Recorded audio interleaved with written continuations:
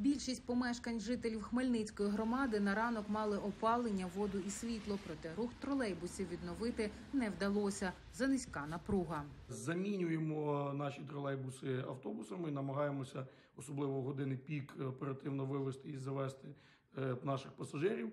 Електропостачання в громаді наразі відновлено на 90%, навіть на понад 90%, але напруги не вистачає, тому застосовується погодинне відключення споживачів. В області суворий режим економії електрики. У темний час доби на вулицях працює лише кожний четвертий ліхтар. дуже критично. Е, Очікується, можливо, навіть блекаут, але звертаємо велику увагу до перехрестя пішохідних переходів. Ми зараз намагаємося максимально засвітити перехрестя і пішохідні переходи, та як відповідно до звернення патрульної поліції величезна кількість ДТП. Містяни кажуть, переживуть без світла і води скільки треба. Дехто виїхав до родичів у село, а пенсіонери намагаються не виходити в темну пору доби. Утром выйду, раз в два дня выйду, то и все.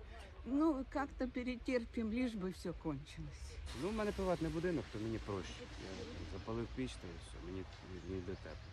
А вода? Акумуляторні е, батареї е, для світла і вода в криниці. Ну, я думаю, нам не гірше, ніж хлопцям, які нас захищають, тому нормально ставиться.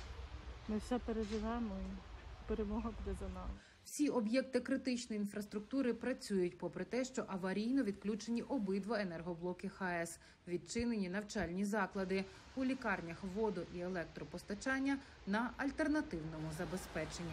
Марічка Золота, Світлана Прокопчук, Філіп Гаврилюк. Подробиці телеканал Інтер, Марафон. Єдині новини.